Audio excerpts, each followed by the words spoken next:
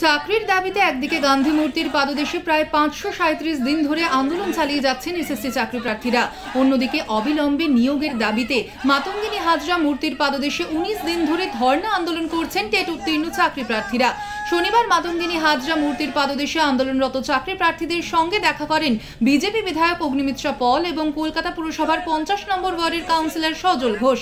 একই সঙ্গে আন্দোলনরত গ্রুপ ডি চাকরি প্রার্থীদের সঙ্গেও দেখা করেন তারা। এই মঞ্চ থেকে এক যুগে রাজ্য সরকারকে নিশানা করেন তারা। একদিকে নিয়োগের দাবিতে পথে বসে রয়েছেন চাকরি প্রার্থীরা। অন্যদিকে মুখ্যমন্ত্রী দুর্গাপূজা উপলক্ষে কার্নিভাল করছেন কটাক্ষ সজল ঘোষের।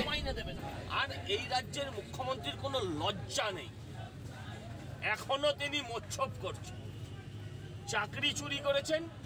কদিন আগে এই রেড রোডে তিনি ওই ইউনেস্কো সম্মানটা চুরি করতে চেয়েছিলেন। কিন্তু বাংলার মানুষ তার এখন মুখোশটা ধরে ফেলেছে, মুখোশটা খুলে নিয়েছে। এই যে লজ্জার, পাশে যারা বসে আছে তারা প্রায় সাড়ে পাঁচশো দিন পার হতে চলল।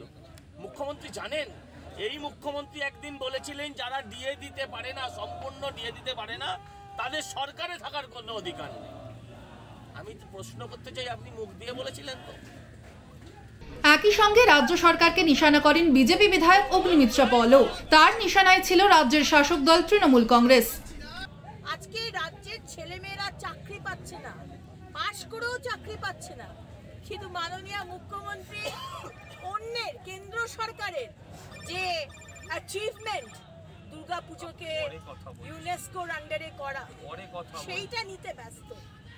কোটি কোটি টাকা খরচা হলো মাননীয় মুখ্যমন্ত্রী ধরেন তার জন্য কোটি কোটি টাকা খরচা হচ্ছে। আজকে ফিনান্স মিনিস্টার চন্দ্রিমা ভট্টাচার্য তিনি ধেই ধেই করে নাচছেন। কি আনন্দ আকাশে, বাতাসে।